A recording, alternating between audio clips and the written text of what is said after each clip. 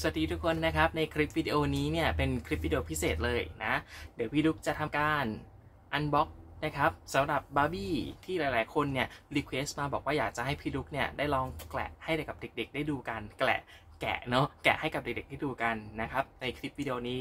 มาทำการสนองให้กับทุกๆคนได้ดูกันเลย แต่เพื่อให้เป็นกำลังใจนะครับ ยังไงฝากกด ไลค์คลิปวิดีโอนี้ด้วย แล้วก็อย่าลืมแชร์ให้กับทุกคนที่คุณรักได้ดูกันด้วยนะครับ เหมือนเดิมเลยถ้าอยากจะให้พี่ดุ๊กเนี่ยรีวิวนะครับที่เป็นแบบ unbox รุ่นไหนเด็กๆคอมเมนต์เอาไว้ที่ใต้คลิปวิดีโอนี้ได้เลยนะ ถ้าพี่ดุ๊กเนี่ยเห็นว่ามีใครคอมเมนต์ได้เยอะเดี๋ยวจะทำการ unbox ให้ดูแล้วกันนะครับอะโอเค เริ่มต้นเดี๋ยวเรามา unbox รุ่นนี้กันก่อนดีกว่าสำหรับตุ๊กตาวาลาล่านะครับมีน้องคอมเมนต์กันเข้ามาเพียบเลยว่าอยากจะให้พี่ดุ๊กได้รีวิวให้ดูจัดไปครับ อย่างอื่นนะครับรอลุ้นกันว่าจะดูอันไหนได้ต่อนะครับ แต่เด็กๆอย่าลืมคอมเมนต์กันเข้ามาแล้วกัน พี่ดุ๊กจะได้รู้นะครับอะมาสำหรับบาร์บี้วาลาล่าเนี่ยก่อนที่เราจะ unbox นะครับบอกก่อนเลย เป็นสินค้าที่นำเข้าจากต่างประเทศ ตัวนี้ไม่มีขายในไทยนะครับ พี่ดุ๊กนำเข้ามา แล้วก็ที่สำคัญพร้อมส่งในประเทศไทยเฉพาะร้าน NDA Shop เท่านั้นครับ ตอนนี้เนี่ยมีเหลืออยู่ 2 แบบให้เด็กๆ ได้สะสมกัน แบบที่1เนี่ยจะเป็นแบบนี้เลยก็คือ รุ่นเสื้อยีนนะครับ กระโปรงชุดเดรสนะครับผมเนี่ยจะเป็นผมลอน แล้วก็มีรองเท้าให้ด้วย แล้วก็แบบที่ 2 จะเป็นรุ่นนี้ครับพอดีผมหมวกน้องปิดตานิดนึงนะ รุ่นนี้จะเป็นเสื้อไหมพรมครับตัวนี้ ก็คือตัวเดียวกับตัวข้างหลังนี่แหละครับ เหมือนกันเลยนะฮะ ผมเป็นผมรอนเหมือนกันครับ รุ่นนี้ 250 บาทนะครับ ราคาเท่ากันเลยคือ 250 แต่ในคลิปวันนี้เนี่ย เดี๋ยวพี่ดุกจะแกะเป็นสีนี้ให้ดูแล้วกันนะครับ อะพร้อมหรือยังเอ่ย ถ้าพร้อมแล้วกดไลค์กันได้เลยครับมาชมกันเลยดีกว่า ว่าเอ๊จะประมาณไหนนะแบบไหน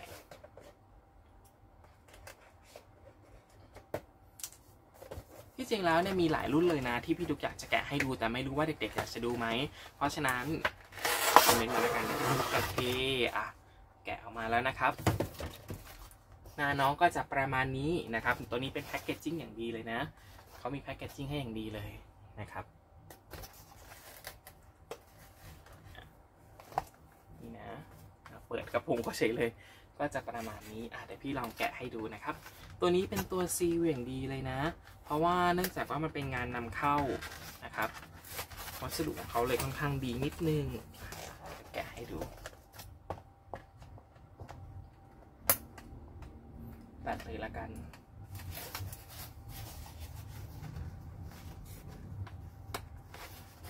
ตื่นเต้นพอสมควรนะเด็กๆเคยไหมลูกเวลาที่เราแกะของเล่นเราจะรู้สึกแบบเอ๊ลุ้นไปกับมันทั้งที่หน้าตาของของเล่นเราก็เห็นอยู่แล้วนะว่าหน้าตาประมาณไหนโอเคอะแกะมาเรียบร้อยแล้วครับ น้องหน้าตาน้องก็จะประมาณนี้อ่าอันนี้แกะแกะแล้วนะ อันนี้ตัวกล่องว่างนะครับ แต่บางคนเนี่ยหัวใสพี่เคยเห็นลูกค้าคนนึงเนี่ยเขาเอาไปทำฉากตั้งตุ๊กตาต่อได้เลยนะนี่นะครับแกะมาเรียบร้อยแล้ว น้องก็จะประมาณนี้ก่อนอื่นเลย ข้อดีของบาร์บี้รุ่นนี้เนี่ยพี่ดุกจะบอกว่าผมของเขาเนี่ย ผมหนาอ่าไม่ได้จกตานะครับนี่เห็นไหมผมเนี่ยผมหนานะครับ ผมหนาทุกระเบียบนิ้วเลย อันนี้แทบจะแหวกให้ดูแล้วเนี่ย นี่ครับ ผมหนาแล้วก็เป็นผมลอนด้วย ผมหนาผมลอนนี่ครับ แล้วก็ที่สำคัญเลยตัวนี้ขนตาให้ดูขนตา ขนตาเป็นขนตาจริงนะครับ ขนตาจริงแล้วก็เมคอัพเป็นงานตาลูกแก้วสามมิติครับ ในด้านชุดที่เขาให้มาเนี่ยก็จะเป็นชุดนี่เป็นชุดเดรส แล้วก็ข้างนอกเนี่ยก็จะมี เสื้อเป็นชุดยีนให้ด้วย ในส่วนของข้อต่ออะเดี๋ยวพี่ดุกลองถอดชุดให้ดูดีกว่า นี่นะครับอะเดี๋ยวถอดชุดให้ดูก่อน เด็กๆจะได้เห็นบอดี้ไปเลยนะครับ วันนี้ก็เรามารีวิวกันแบบโอ้โหสุดๆไปเลยอะมีถอดชุดน้องนางให้ดู ถ้าสมมุติว่าเด็กๆถอดเสื้อยีนออกเนี่ยนะครับ มันก็จะเป็นได้อีกหนึ่งชุดก็คือเป็น ชุดแบบน่ารักน่ารักอะเดี๋ยวถอด ให้ดูอีกด้านหลังเนี่ยจะเป็นชุดตีนแบบลักษณะเป็นตีนตุ๊กแกนะครับทำให้ใส่ง่าย ไม่ต้องกังวลว่าจะใส่ยาก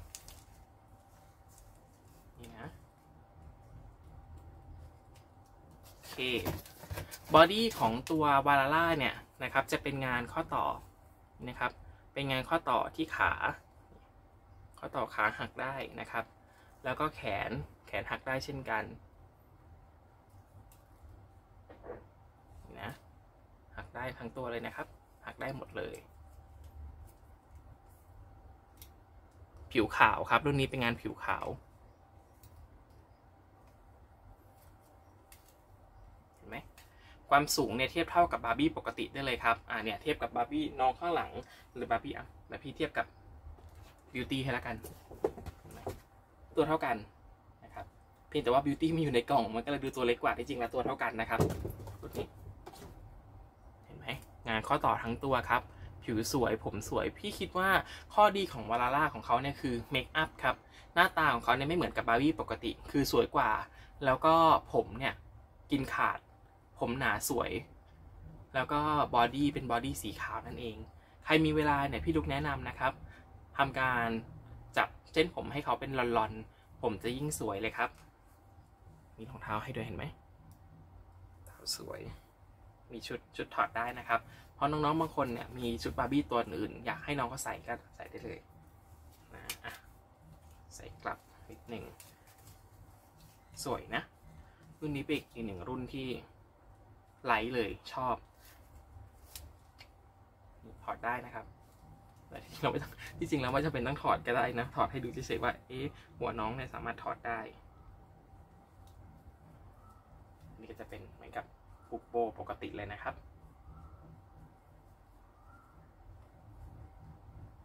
ผูกเฉพาะตรงคอ เพราะว่าด้านหลังของเขาเนี่ยจะมีเป็นตีนตุ๊กแกให้ด้วย ส่วนชุดด้านหลังก็เป็นแบบตีนตุ๊กแกก็คือติดได้เลย